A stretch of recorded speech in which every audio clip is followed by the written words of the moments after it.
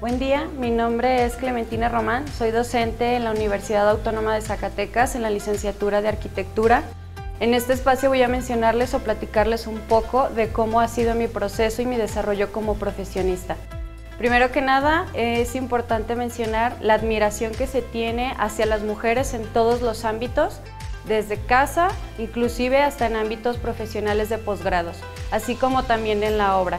Cabe resaltar que anteriormente el papel de la mujer en espacios de construcción, de obra o bien inclusive en la escuela no era precisamente lo más apto o lo correcto o inclusive bien visto. Sin embargo, en la actualidad, en mi caso me tocó la fortuna de estar en una generación donde prácticamente la mujer predominaba o era mayor su número. En la actualidad me siento orgullosa de trabajar con mujeres, mis alumnas específicamente, mis compañeras, que me han demostrado y enseñado que el aprendizaje es continuo y que por supuesto como mujeres podemos valernos, así también como profesionistas, no nada más en un ámbito de hogar, sino también en un ámbito profesional. Para mí es un orgullo decir que soy parte de la Universidad Autónoma de Zacatecas, que me permitió y me abrió las puertas para ejercer como docente y por supuesto agradezco a mis compañeras, mis alumnas que siempre están en constante apoyo conmigo como docente. Gracias.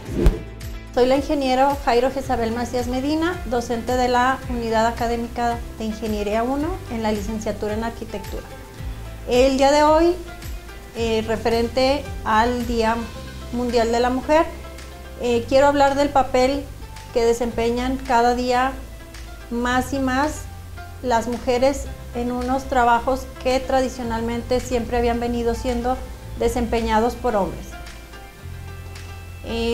Anteriormente pues era mal visto o poco aceptado que una mujer fuera residente de obra o supervisora o anduviera simplemente inspeccionando este, la ejecución de los trabajos de una construcción.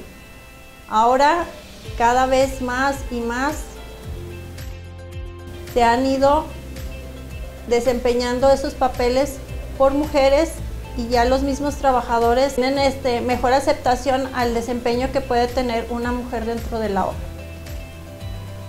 Es diferente la forma en que ellas se dirigen a los trabajadores, pero siempre se tiene que tener ese respeto hacia el trabajo independientemente de quién sea quien lo dirija.